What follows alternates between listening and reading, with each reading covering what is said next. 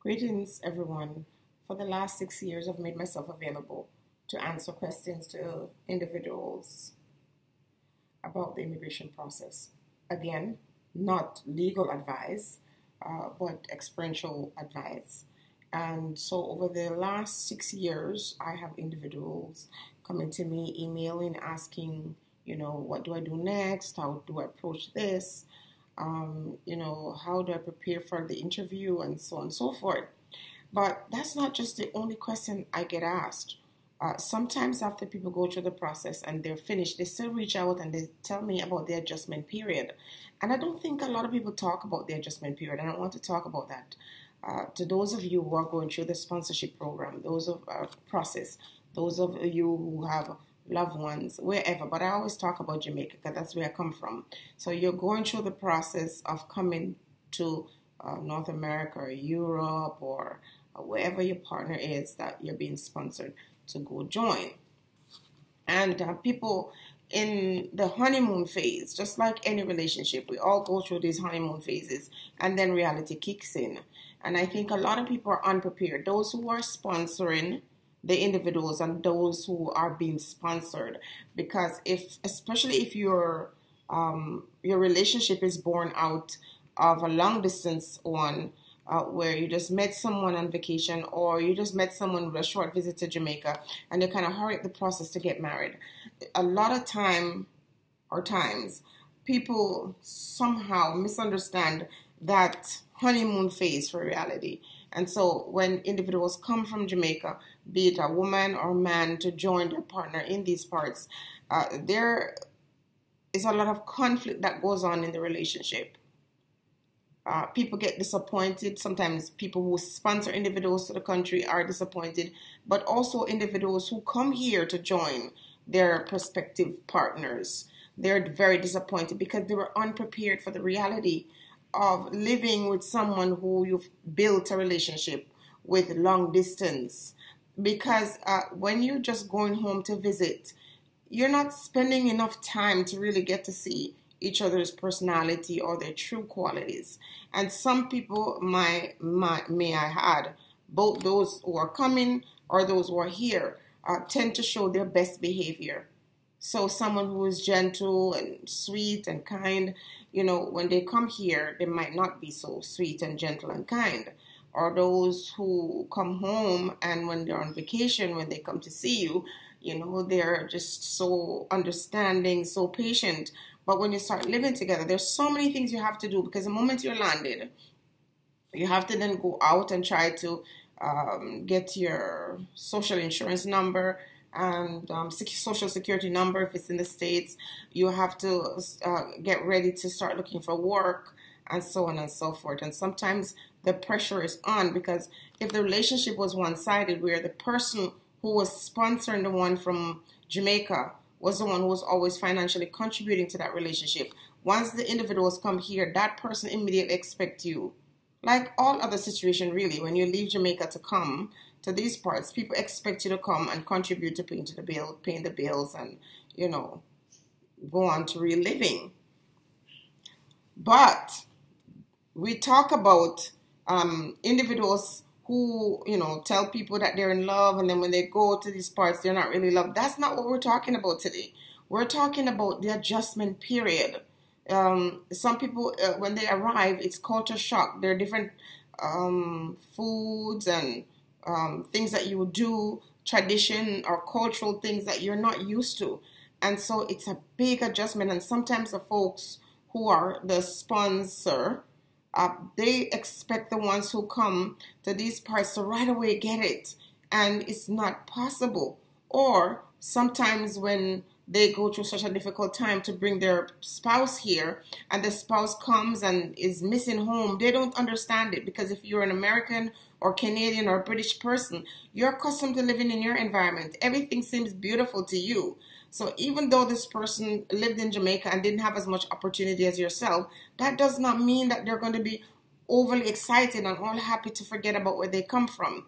They have left friends they have left family. You know sometimes they leave they have children from previous relationship. So they're missing these children are missing their loved ones. And oftentimes the sponsor uh, feels neglected. Sometimes the sponsor feels uh, offended that after they've gone through that process, the husband or the wife doesn't seem so happy. So I'm saying to those who are sponsoring these individuals, you have to give them time to adjust. There's an adjustment period that is very necessary. Now, the gentleman wrote to me um, yesterday and he said that, you know, he was with this lady for two years and everything was wonderful and peachy. And now that he's here, it seemed like their marriage is already falling apart. And why is that? Why is the marriage falling apart? He says that when he came here the next day, she told him it's his duty to take the dog out to walk the dog and you know give him plastic bags to pick up the dog. You know, when the dog defecates in the community, he has to do that. And he says he doesn't even like dogs. And so he said, I don't want to do that. And she said he was very ungrateful and that if he doesn't uh, take care of her dog because her dog is like her child, then, um, you know, she's going to have him deported. So he says every morning he's going around and he's picking up the dog poop and he's doing all these things because it's it is an opportunity and he wasn't really trying to use this lady. But he's saying now he doesn't feel like a man because she's putting him in a position where he has to do what she says or he's going to be sent back home. But what makes it even worse he says that when she comes home he thought she was rich because she gave him the impression that she was rich. And when he comes she lives in a one bedroom uh, basement apartment, which nothing is wrong with that. But he's saying he thought she was rich, and so she comes. He comes to join her. They live in a one basement apartment, and uh, she's saying that if they want to move from there, then he has to find two jobs. So this thing that's going on between this new couple, you know, suddenly the the dream life and the fantasy world has ended because what he failed to understand that all that spending was on the credit card. He's telling me now that the, the, the, all the debts they have incurred in the last two years, she's saying he's going to have to work to pay them off because she was doing it for him and not the other way around. So there's so much that is involved in the process, and oftentimes people are not really thinking that if we're going to venture down this road, the possibility of troubles popping up, just like any other relationship, is too real.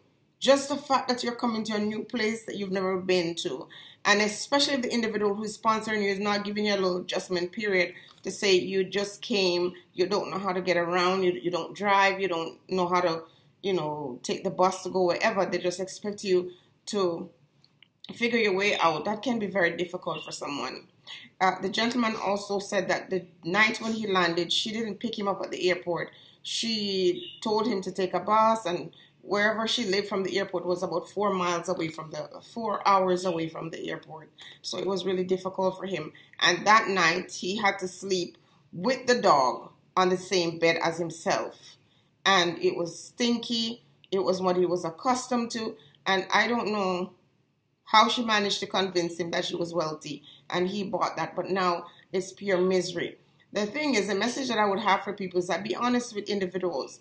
And this is why I said if you have money to spend to go back and forth and to flourish your partners back home, maybe you should be saving some of that so when they come here, you can spend it on, spend it on each other, you know?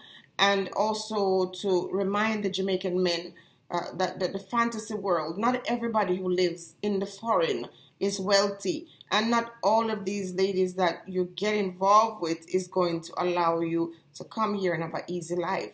Uh, if you want to come and build your life, you know, you have to be determined to work it out. You have to determine to, to adjust, but you have to be realistic about it as well. That was one person.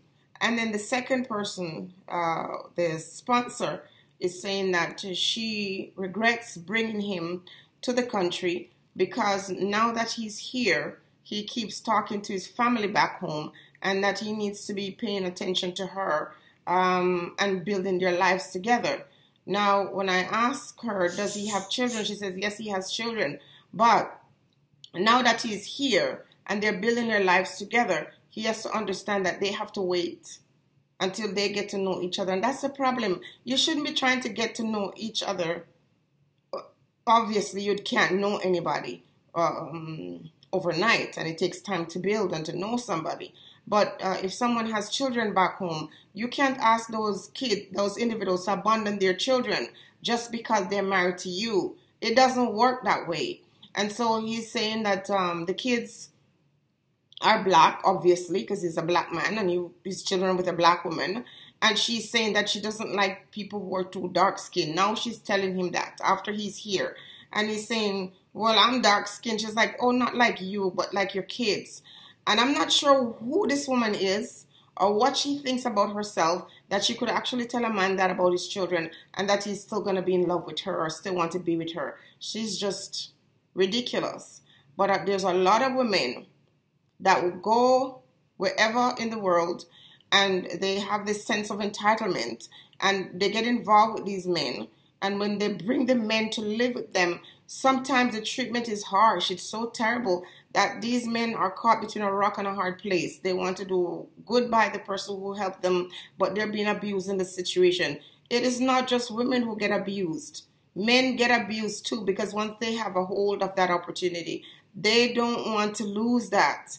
And so they're subjected to all kinds of abuse. And some of you women, like the one named Marsha Mello, to come and ask me, why is it your business? Listen, you probably just want, you're probably just one of those people who want someone to come and walk your dog. Just like some of your other sisters that tell me this on a regular basis. Oh, let him think he's coming here to have a wonderful life. He's going to find out. He's going to have to get his butt out of the bed and he's going to do this and he's going to do that. He's going to pay for it. All this money I've been sending to him to him. He's better come here and he's going to work. And when I start, when he comes here, I'm not working anymore he's going to have to pay this mortgage all by himself. These are some of the conversations some of these women are having by themselves before you arrive here. And so when you think you're falling into the land of dream and honey, you find out that some of these women are real witches. Uh, some of the men, I've talked about it before, those with ill intention, uh, you deserve it. But there are also men home who get involved with these ladies thinking that they're coming to build. Meantime, these women are saying, You're coming to do this, that, and the other and you better do it or. So it's two sides of the coin. For the gentleman who is feeling like he's in hell and he's in misery, I really don't know what to say to you. I have to just say, try to work it out. It is five years. If you are divorced before that, you could be sent back home. So only you alone can decide how much staying here under that condition is worth to you. Stay blessed, everyone.